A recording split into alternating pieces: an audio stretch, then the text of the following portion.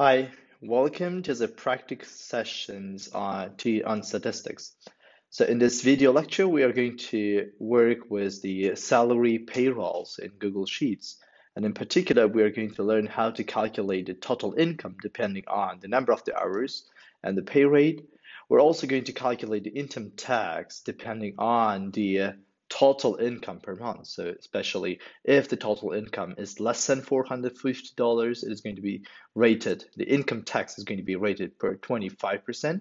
If this is more, it is going to be rated 30%. So we're going to learn how to make a certain formula so that it is going to be calculated automatically. And also we're going to learn about how to find the minimum values, the maximum values out of the numbers and the columns, and um, and and calculate the average salaries. So before we proceed to to the sheets to the uh, to the Google Sheets directly, so let's consider all of these things um, theoretically a little bit. So here is the payroll record for the January for all of these employees. So you can see here the employees, and for each of the employee, we've got the columns. So the columns was the total number of the hours worked per this month, so the overtime hours and the pay rate per hour. So the first of all, we are going to calculate the hours to the pay rate. So essentially, what I'm going to do is So here especially, what I'm going to do is in order to calculate the subtotal, I'm going to multiply the hours times to the pay rate. So here, the first employee has worked 36 hours, and every hour it is going to be paid for $12. So subtotal is going to be the multiplication of the 36 to the 12. So at the same time, you can see here that another color, so another column, which is called like the overtime hours. So that if the employee works overtime, so the pay rate is going to be multiplied to the 50 to the one and a half so essentially, so that for every overtime hour, it is going to be paid 50% more. So especially here for the second employee, so if he is going to work for two hours, then instead of paying him like a $30, like a two times $30, we're going to pay 50% more or 1.5. So it is going to be $45. So this is how it is going to be calculated. So average hours or the ordinary standard hours is going to be multiplied as a pay rate. And the overtime hours are going to be multiplied the pay rate times to the 1.5. So now if we go um, to the bottom of the table, we can see here that the income tax is going to be calculated depending on the subtotal. So that if subtotal is less than 450%, it is going to be 25% tax rate. And if the uh, subtotal is more or equal to the 450%, we are going to calculate the income tax at the rate of 30%. So it is going to be implemented here in this column, which is called like income tax. And here we are going to write down the formula or create a formula. So we are going to do this using the command called if. And if the subtotal is less than 450, then the income tax is going to be calculated by just multiplying the subtotal to the 25%. Else, the income tax is going to be calculated by just multiplying the subtotal to the 30%.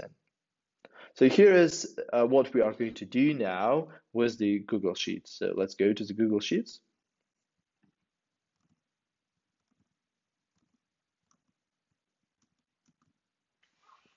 Okay, so here's our Google Sheets. So first of all, we need to create a formula here in the subtotal.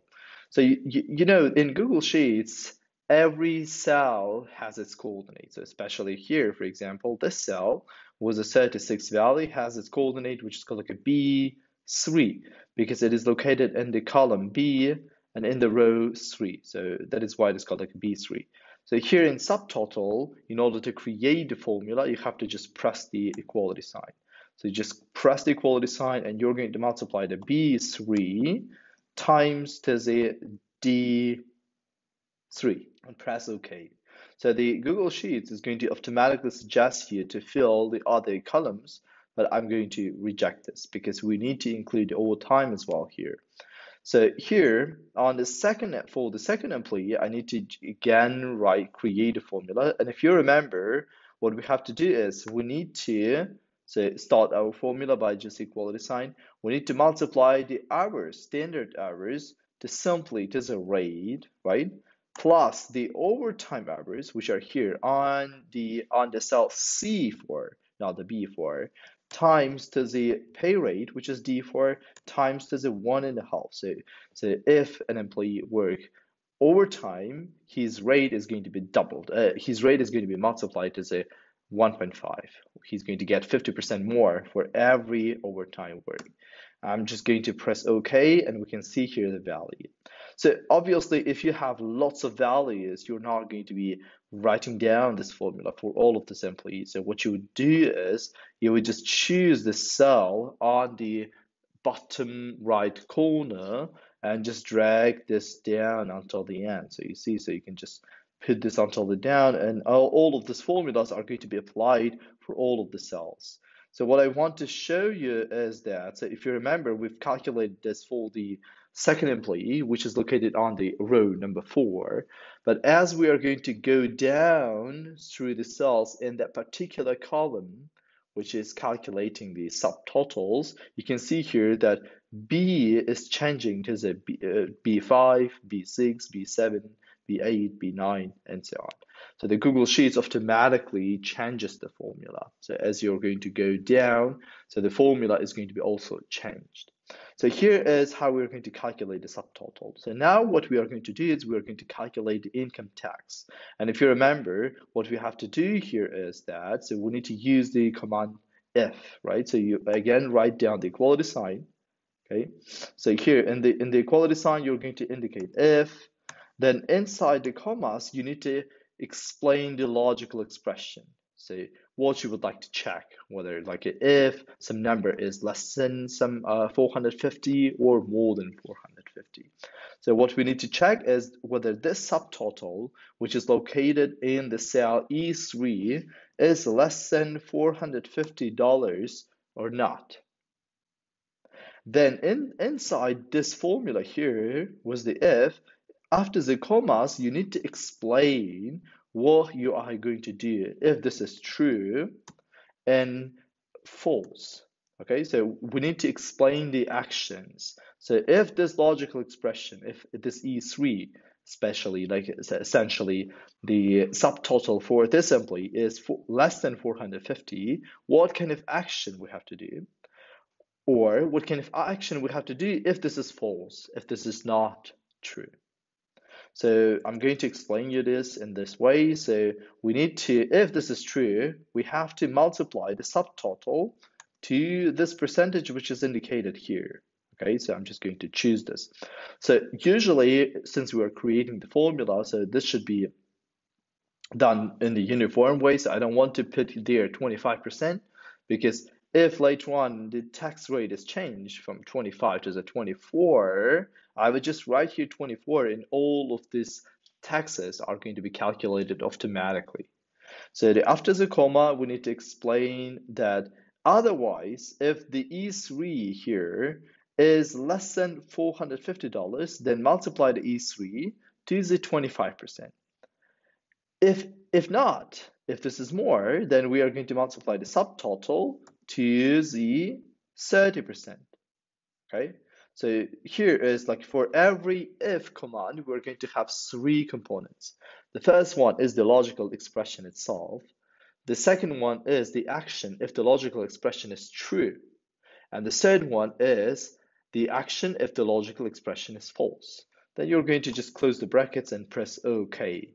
So it is going to calculate here $108. So if you would like to apply this formula for all the others, you're going to just drag and drop here until the end. Oops, the, the problem, there is essentially the problem, right? So here the, it, it calculates always a zero, which is, which is something wrong, okay? So I'm just going to go through the formulas here. So you see, so I, I'm just going to zoom in here. So you see, so as I'm going to go down through that column, which calculates the income tax. So this E3 is the subtotal for the employee, which is in the row 3. So if I go down, it is going to be changed to the E4. It is going to be the subtotal of the employee in the row 4 and the row 5 and so on. You see, so it is changing. But at the same time, if you remember, your tax rate, 25% and 30%, are fixed in one cell, which are located in the C28 and C29, right? So, well, here in this formula, as I'm going down, the cells where the tax rates are located are also changing. And if I go here, and the C30, for example, or in C31, everything is empty. So this is the reason why I'm just getting zeros here. So, well, in order to change this in this formula, what we have to do is we need to fix these two cells. So we need to essentially fix C28 and C29 so that as we are going to go down through this column, the C28 and C29 are going to be always the same cells. So, the, so it can be fixed easily, so by just putting the dollar sign around the column column letter. Okay, I'm just going to put the dollar sign around the C28 and C29 and press OK. And now we just need to apply this formula again one more time. Just let's choose this and drag this down. And now it is going to calculate the cells. It is going to calculate uh, the income tax. So by just fixing, so you can see here as we are going down, E, uh, E's are changing from E4 to the E5 to this E6. So you can see here, E9, E10, and so on. But the C's are the same. So it is like essentially C28 and C29. Well, what do we need to do now is we need to subtract the income tax from the subtotal in order to calculate the pay after the taxes. So we're going to just write down the equality sign, subtotal minus the income tax. Okay, then press OK. So usually Google Sheets sometimes suggests you to fill all the other cells in this column. So we're just going to say yes. So just calculate this. So here is all of these numbers is calculated for every employee. So this is the amount that each employee is going to get at the end, right? Depending on the number of the hours worked, the number of the overtime hour works, number of the uh, so the amount of the pay rate, and also the amount of the tax rates.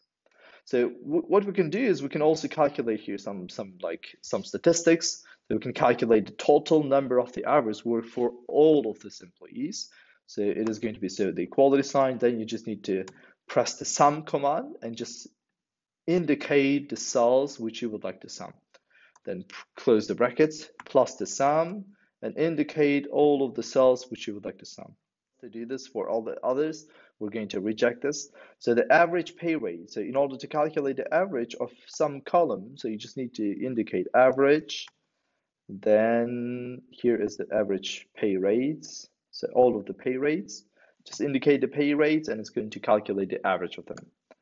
Then the highest pay after the taxes. So it is like you need to figure out which one is the highest one, right? So highest value.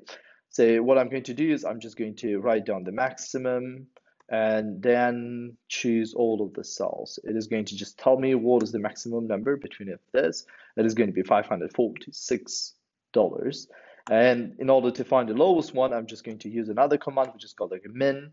And the min, I'm just going to again choose all of the cells. It's going to show me the min.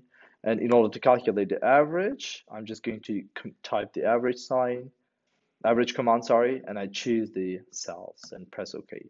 So this is how we can calculate some statistical values like the highest value, highest amount of the um, pay after the taxes, or the lowest one, or the average pay rate, average uh, uh, average pay after the taxes, and so on. So this is how we can do some basic operations with the Google Sheets, and I hope that this was helpful for you.